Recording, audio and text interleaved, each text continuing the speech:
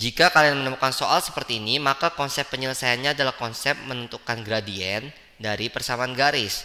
Untuk yang A, untuk mencari gradien rumusnya adalah delta Y per delta X.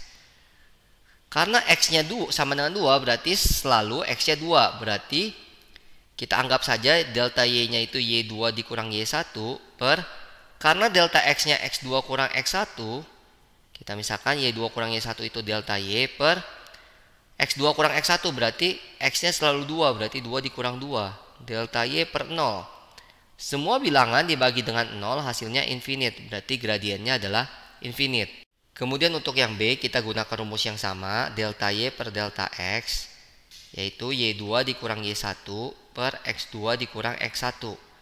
Nah, kita lihat. Karena Y-nya selalu 4, berarti kita masukkan 4 dikurang 4, baik Y2 maupun Y1 akan selalu 4.